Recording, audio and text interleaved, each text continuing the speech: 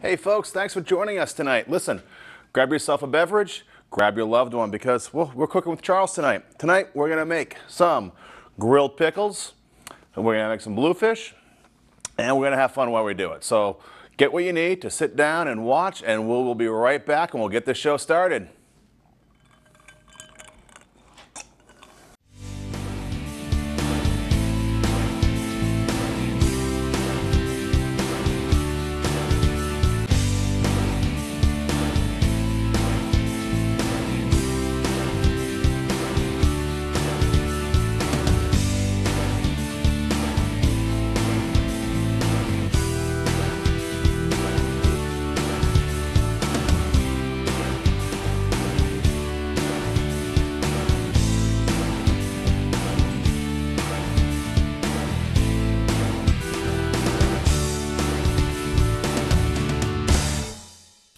Hey guys, welcome back. Listen, right over here on this grill, let's get a nice shot of this. As I mentioned, we're gonna be grilling some pickles. So over here, I have some cut pickling cucumbers already sliced up, grilling away. Look at those nice grill marks on these puppies, huh? This is gonna give it a nice extra flavor that you probably have not had in your pickles before. We also have some grilled red bell peppers, which we're gonna add to our little pickling stuff. And we have some green beans. We have some green dilly beans. We're gonna pickle those up as well. Now in this pot right here, guys, we have our vinegar, we have our water, we have our sugar. We've simmered this for about 10 minutes, so it's ready to go into the uh, jars. So you know what? These are ready to go. So let's get our jars ready, guys. Want to take about a teaspoon of sea salt or kosher salt. Put that in the bottom of your pickling jars as well as, you know what, little sprig of, or a little leaf of bay leaf.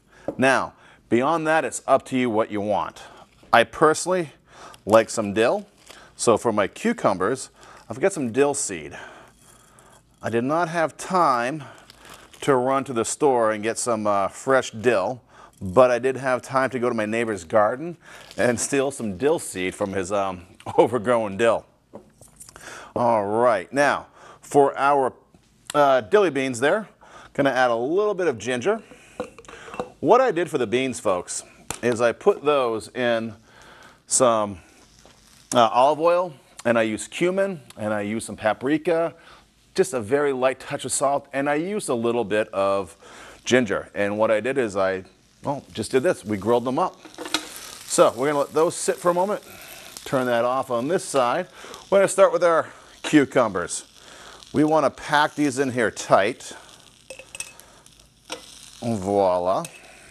Now, folks, what we're going to do today, too, this is, I got to let you know, this is a cold pickling, meaning we are not going to be pickling these in terms of sealing them so you can leave them out of the refrigerator. You must refrigerate these for a little while, okay? All right, you want to pack everything in there tight as you can. So check this out. We have, there. That is our cucumbers. Now, to our cucumbers, I've already roasted up some garlic ahead of time. And we're gonna drop this, and you can drop this in there, just a few little cloves. Now to roast your garlic, guys, cut your whole clove in half. Check this out. All right, we just cut it all in half. Drizzle it with olive oil. Bake it at like 400. I use a toaster oven at home. And, uh, well, just kept, once I could smell it, means that it was pretty much done. So we have that in there. Now for our dilly beans, we're going to place these in here as well. Mm. Now guys, also when you're canning, anything, even a cold can like this, make sure you sterilize everything. Put it in boiling water for about 10 minutes, or at the very least, you want to put it in your dishwasher under a sanitized cycle. Now, when I did these up ahead of time, I measured, I put them in here. However, when you cook them, they lost some moisture. So I have a lot more space in there uh, than I anticipated. So make extra. I thought I made enough extra to accommodate that, but you know what? I did not. So there we go with that. Now very simply, we have water, vinegar, and sugar. You want to fill that to about a half inch from the top.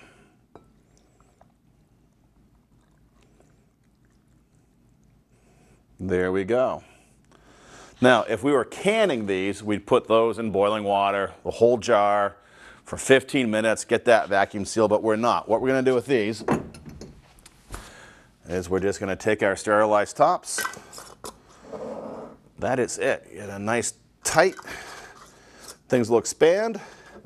And you know what? We're to let these cool for about 20 minutes to a half an hour on the counter, and then we will put them in the refrigerator. And we'll let them sit. These will keep God, almost indefinitely because, oh, it's pickles, okay? It's already being preserved, but you don't want to eat these for at least 48 hours. Uh, the longer you let them sit, the better. They will absorb all those flavors. So guys, guess what? You now have dilly beans, okay, any way you want to make them, and we now have grilled pickles. So we're going to put these aside. And we're going to get to the main course tonight. So let's get our pan going. Yeah, which side we? We're going to be on that side. Medium high heat. So we're going to do first? Well, first thing we're going to do is we're going to cut up some leeks. Got a leek right here, folks. Move that out of the way. We just want this white part of the leek. Let me show you a nice, easy way to julienne up a leek. You got this round thing, get this round area you just want to slice about halfway down and then it's very easy to spread it like that. Voila! Check out that magic. Huh? You've got nice julienne strips of leeks. Hey, you missed that? We'll do it again. Gonna cut down about halfway.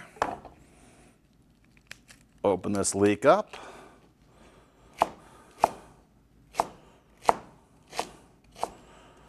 Voila. Now, leeks can be a little sandy, so what we're going to do is we're just going to place them in water right here, a little bowl of water we get, water we get going on.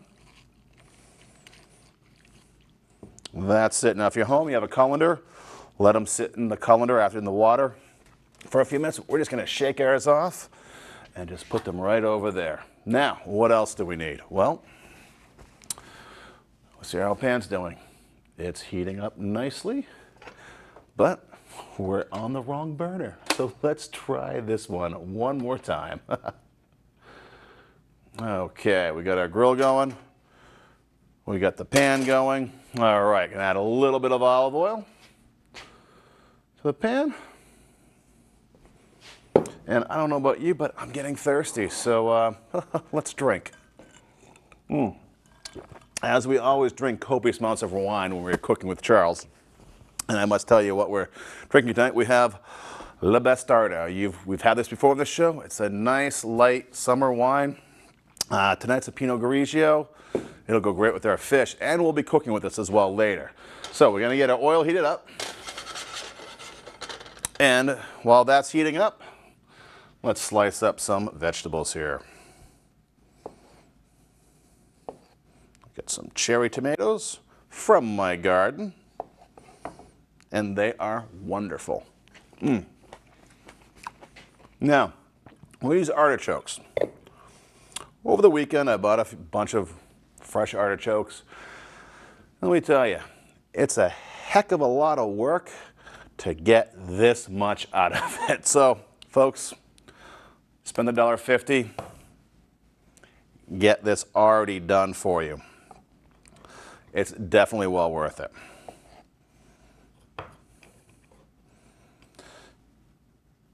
We're just going to cut these in half. And actually, we're going to take a little bit of that brine.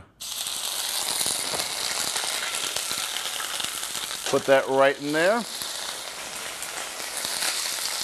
Voila. A little more brine.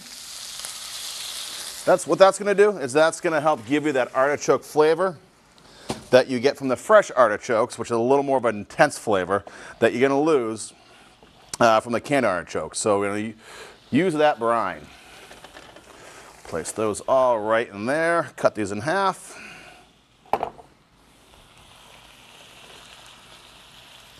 Mmm, that's going to be good.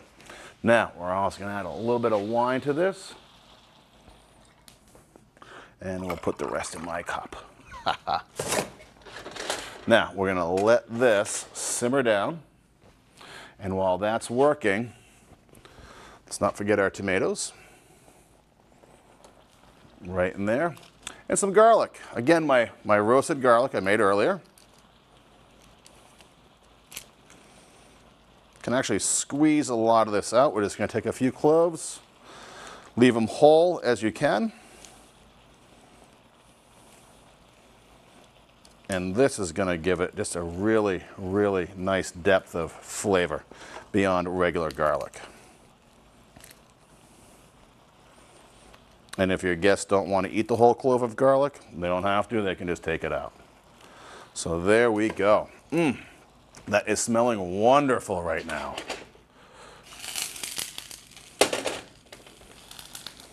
All right, now the star of the show.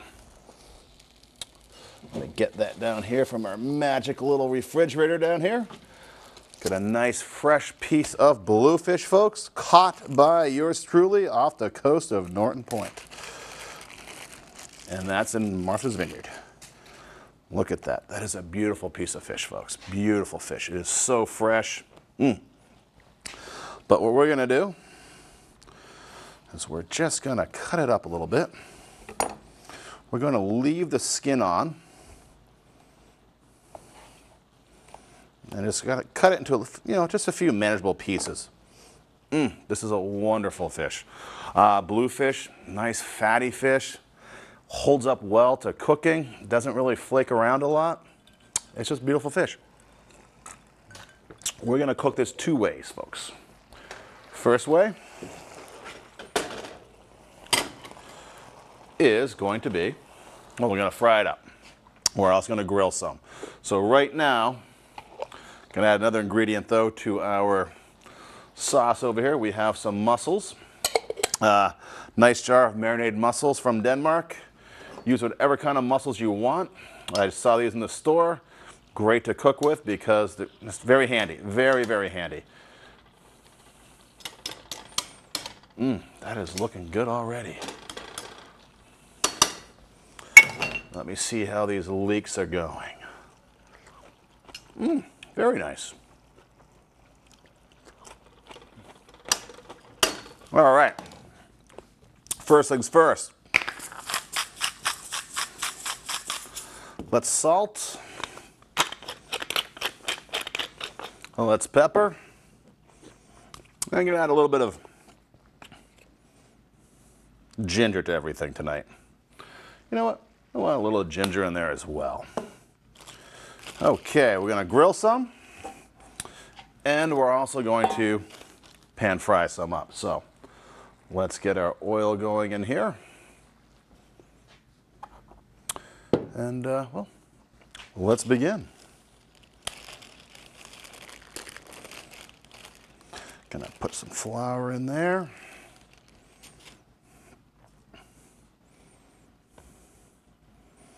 Don't want to do too, don't want to put too much flour, just enough, just enough to coat it very lightly. And that's just going to give it a little bit of extra oomph when we fry, pan fry it up or pan-sear is a sexier way of saying it. Voila. Now these pieces right here, we'll just put these on our grill. And you know what? Do skin side down. Always start skin side down. That's going to help um, keep it together. Even though it's a nice big flake fish, it won't flake apart. It'll still flake apart if you cook it wrong. So skin side down helps hold it together. All right, now let's see how our oil's going. All right, you know what? Let's see how hot that is. Nope, A little bit more in the oil. Mm, folks, this is starting to smell wonderful in here. All right, folks, I'll tell you what, this will be a great time to uh, get up, refresh your beverage, and uh, have a word from our sponsors. So be right back, and uh, we're not going anywhere, so you don't either. Be back in two minutes. Hi, I'm Charles Minnich, host of GTV Smash Hit, Cooking with Charles. I've teamed up with the Goffstown Network to tell you about their outreach and food pantry programs. The mission of the Goffstown Network is to provide for the hunger-related needs of our neighbors in Goffstown and their surrounding communities. Founded with the governing principles that no person should go hungry and every person deserves our care. The Goffstown Network serves the area by providing food and other services on an emergency short-term basis. This spirit of community and mutual caring is extended to anyone in Goffstown, Dunbarton, and New Boston. Normal hours of operation are Wednesday evenings, 6 to 8 p.m., and Saturday mornings, 10 a.m. to noon. Now, you can you can also assist them through donations of time, food, or money. Like the help they give, the help they receive is also greatly appreciated. You can reach them by calling the number on your screen or by stopping by the parish house of St. Matthew's Church. It's located in downtown Goffstown at 7 North Mast Street, right across from Sully's. We could not do this show without the help of our friends at Sully's Superette. Since 1987, Sully's has provided the area with the best meats around. Here at Cooking with Charles, we not only count on them for their kind donations of meat, but John and the gang at Sully's also provide us with the best produce, deli items, and libations that make Cooking with Charles the huge success it is. From all of us at Cooking with Charles, thank you. All right, and we're back, guys. All right, so let's recap. We got the vegetables going. We've got the fruit. I was pointed out by our well, blooper guy in the booth that this is tomato. It's a fruit, not a vegetable. So we get our fruits and vegetables going over here. Thank you, Andrew. He's also English, so he really has nothing culinary to add to anything except haggis. So, and, and Stilton cheese. But anyways, we got that going. We've got some grilled uh, bluefish going. I'm going to start pan searing this. We get our oil heated up. And we're just going to let that sit right in there. And that will take about eh, two or three minutes aside. So we're going to put that on high. Let that go. Now also to recap, folks, we made these lovely, lovely pickled vegetables. How did we do it? Magic. No, actually, we actually grilled these. We grilled our beans, very similar, similar to the dilly beans you'll see in, your, in the store on the shelves. Um, this is a cold pickling, meaning that we're not boiling the canning, we're not boiling these, the whole canning process. No, we're using vinegar, water, and salt and sugar that we simmered for a few minutes and we put it in here with some other spices as well as these, uh, the, the uh, cucumbers. We grilled all those and we put these in the canning jars and once they cool for about 20 minutes, they go in your refrigerator and they go in there for at least 48 hours before you will touch them. Better if you wait a week. You know, that way all the flavors incorporate and you're gonna love them. But they'll last at least a month in your refrigerator. So those are right there. Let's check what's going on over here, folks. Looks like we have, ooh, we got some good fish. You know what I gotta get myself? I gotta get myself a good fish spatula. I never seem to pick one up and every now, I'm always thinking, God, I need one of those. But look at those, we got some good grill marks there. I think we can turn that down. And let's take this fish right here. And we're just going to flip it. Now this bluefish, locally caught, by yours truly. And we season that with some pepper, some salt, some ginger, because, well, I like ginger. Season yours however you see fit. All right, while that's cooking, let's get a little plate going, folks. Uh, also want to remind you these artichoke hearts, you'll get a more robust flavor, more intense flavor if you use fresh artichoke hearts, but it's a lot of work as I found out. And uh, I just don't recommend it. it's too much work. Buy some canned ones, use a little bit of the brine. and uh, that will help give you the flavor. We also added to this half a jar of marinated mussels. They're like little baby mussels, but you know what? The jar is only about a buck fifty at any grocery store. And it's just great to have mussels that are already cooked, already marinated, already shelled. You know, so you're not messing with all that, and you can have mm, that sweet mussel flavor any day of the week. All right. Wow, folks. We are ready, I think. Mm, but another minute on these. But these grilled ones, yeah, those are done. And these look great. So let's turn everything off except our pan searing ones here. So pretty much folks, this is it. This is bluefish. Voila, check this out. Now it's time for a fork and a drink. Mm. This, my friends, is what summer is all about. And sadly, summer is fleeting. Kids go back to school next week. By the time you, by the time the show airs, they'll have been in school. Oh, that's wonderful. But they'll have been in school for a while. Mm. Oh my God, folks. Wow. Mm. Perfect. You get a nice char from the grilling. Mmm. A sweetness from the mussels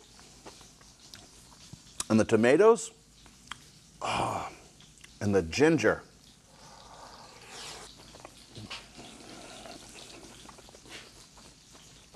Folks, this is awesome. You cook this, you will be a star in your kitchen. You must try it. And folks, if you can't get out there and catch your own seafood, by all means, all the local supermarkets, everybody has bluefish. It's an inexpensive, about three, four, five dollars a pound, depending where you go. And it's a great fish. Highly recommend you try this at home. Or, you know, any kind of fish you like. Haddock.